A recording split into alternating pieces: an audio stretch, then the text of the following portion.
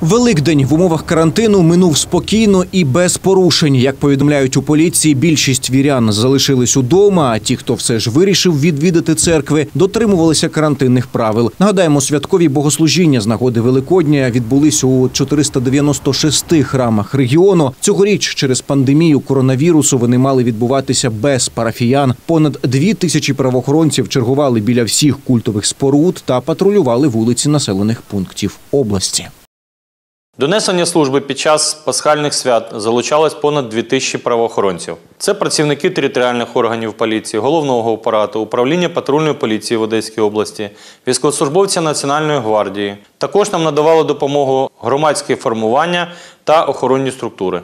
Під час несення служби правоохоронцями не допущено порушень публічного порядку. Головні зусилля правоохоронців було зосереджено на забезпеченні публічного порядку поблизу храмів та на забезпечення режиму карантину.